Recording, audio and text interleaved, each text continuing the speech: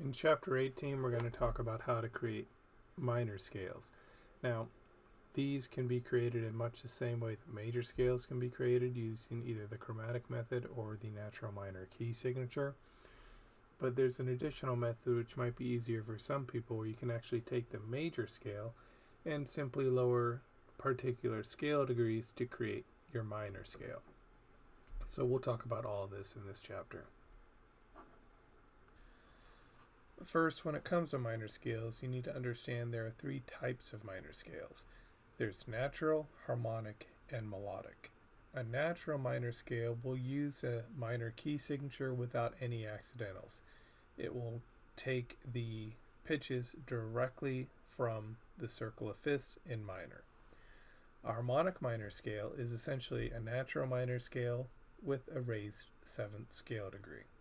So it will use a natural minor scale key signature, but the seventh scale degree has to be raised by a half step. In a melodic minor scale, you have a natural minor scale on the way up with a raised sixth and seventh ascending, and on the way down, you have a natural minor scale. And this gives a more natural contour for going up and down the scale. One thing that I should mention about minor scales, the three forms that are commonly practiced by musicians are not normally employed that way in an actual composition.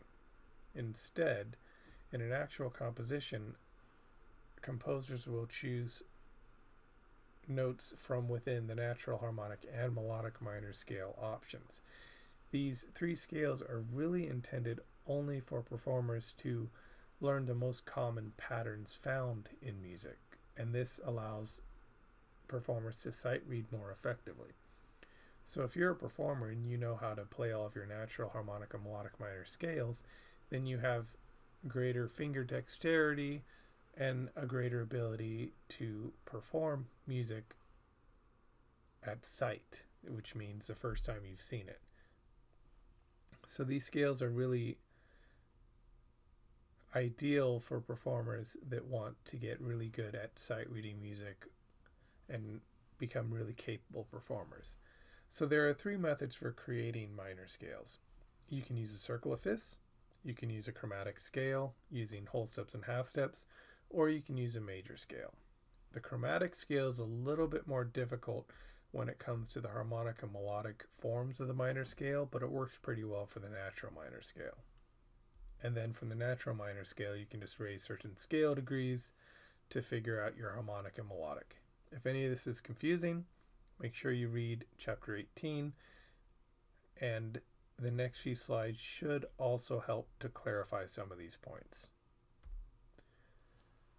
So using the circle of fifths for the natural minor scale, let's say you want to create a B flat natural minor scale. In the image below, you'll see that we've written out essentially a B flat scale starting and ending on B flat, but I haven't included any of the flats in the first image. So then next, locate the key of B flat minor in the circle of fifths. You'll notice that the key of B flat minor has five flats. So that means you have to include the flats B, E, A, D, and G. Once you know what flats are required, you simply add the flats to the appropriate notes in the scale. So we need to put in our B flat, E flat, A flat, D flat, and G flat. So the first, third, fourth, sixth, seventh scale degree will be flatted. And the bottom image shows you what a completed B flat minor scale looks like. If you want to use the circle of fifths for harmonic minor, it's the same thing.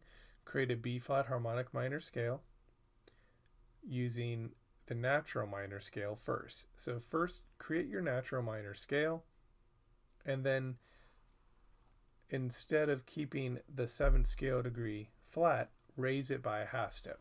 So in the first example, you see B flat, C, D flat, E flat, F, G flat, A flat, B flat. A flat is a seventh scale degree. So we need to raise that a half step to make it A natural. So the bottom example is the correct version of the harmonic minor scale. B flat, C, D flat, E flat, F, G flat a raised seventh for the seventh scale degree. So we have an A natural and then a B flat. So that's all you have to do to create your harmonic minor scales. If you want to create a melodic minor scale, then you have to have essentially two different scales. There's one scale that goes up and another one that goes down. So for the melodic minor scale, you can go ahead and create a natural minor scale on the way up and down, as you see in the first example. We've got our B flat natural minor scale, ascending and descending, and then simply raise the sixth and the seventh scale degree on the ascending version only. So if you look at the image below, you have the same exact scale descending for natural minor and melodic minor. But ascending, the sixth scale degree and the seventh scale degree are raised by a half step. So instead of G flat and A flat on the way up, you have G natural and A natural. One quick comment about parallel and relative minor. This is a concept you're going to come across in more advanced study. With a parallel key signature, you're going to have the same tonic and a different key signature. So what this means is that C major and C minor are considered parallel minor because they both start on the note C. But C major has no sharps and no flats. C minor, if you look at your minor circle of fifths, actually has three flats. So the key signature changes, but they both start on the same note. That makes them parallel. It's as if they're operating on the same initial tonic. So in a major minor key both have the same starting pitch, they are parallel because they begin and end on the same note.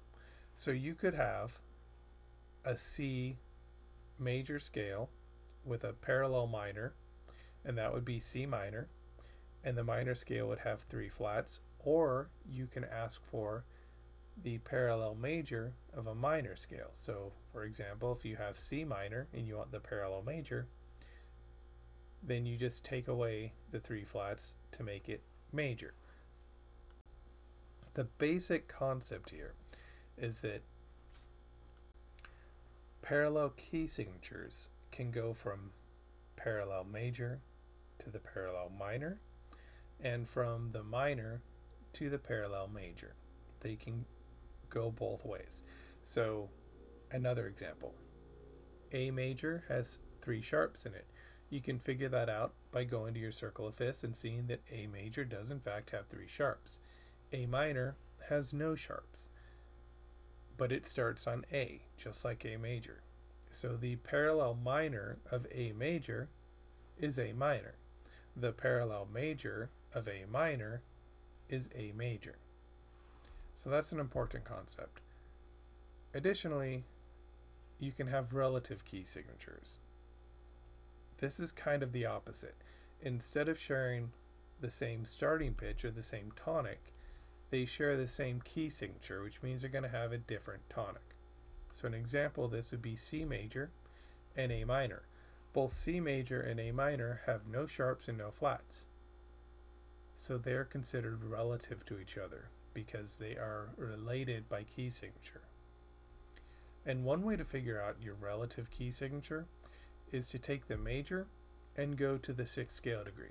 So in C major, if you go up to the sixth scale degree, you get A. C, D, E, F, G, A. That's the sixth scale degree. If you want to figure out the relative minor of B flat major, go to the sixth scale degree. B, C, D, E, F, G. G is the sixth scale degree. So the relative minor of B flat major would be G minor. So in a major and minor key have both have the same key signature, but a different tonic, the two scales are said to be relative to each other. So there's another way to convert your major to minor scales. This is a really simple way and it works pretty effectively for most situations. So you can take your major scale and simply lower specific scale degrees. So if you take a major scale and you want to create a natural minor scale from that major scale, simply lower the third, sixth, and seventh scale degree. So in C major, you'd lower the third, which is E flat.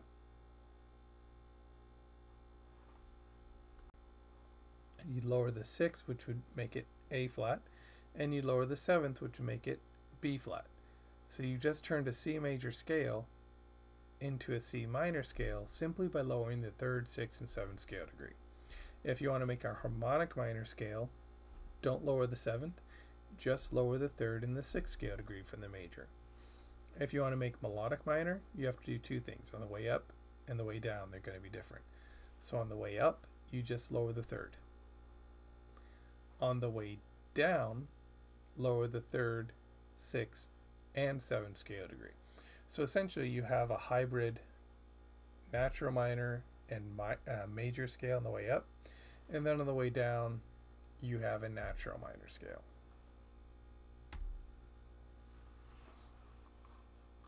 So another way to create these scales, I'm going to show you in more detail now how to use a major scale to create your natural harmonic and melodic minor scales. So to create the natural minor scale, in the first image, you go ahead and you create your parallel major scale to your minor scale.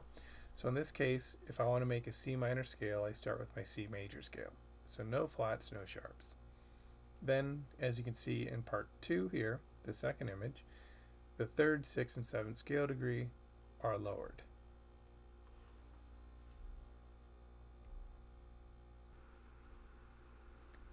If you want to create a harmonic minor scale, Again, start with a major scale, and then simply lower the third and the sixth scale degree. And if you want to make a melodic minor scale, start with a parallel ma major scale, and then on the way up, just lower the third scale degree, and on the way down, lower the seventh, sixth, and third scale degree. There is another method which is discussed in the textbook, and this involves using uh, memorizing a series of whole steps and half steps. But since that's a little more involved and generally the hardest way to do this, that is reserved for the textbook. So these are the most common methods used by most musicians.